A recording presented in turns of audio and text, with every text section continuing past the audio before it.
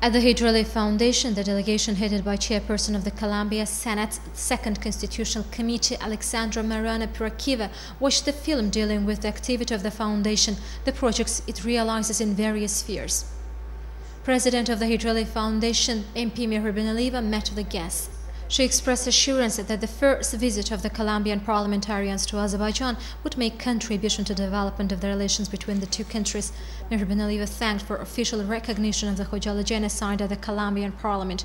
She also spoke about the Armenia-Azerbaijan Nagorno-Karabakh conflict that exists for over 20 years and said as a result of this conflict more than 1 million Azerbaijanis became refugees and internally displaced persons.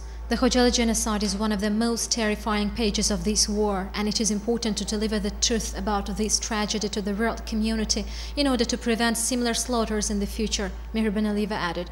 During the meeting, high level of bilateral relations was highlighted.